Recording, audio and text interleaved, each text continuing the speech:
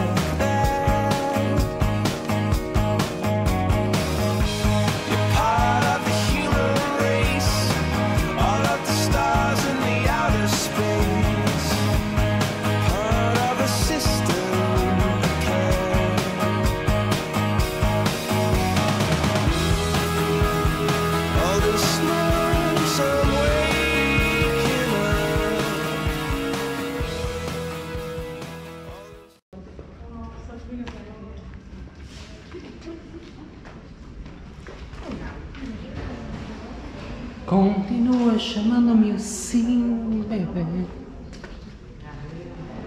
Continuas a ter-me para ti. Não aceitas nem queres aceitar que eu já sou uma mulher.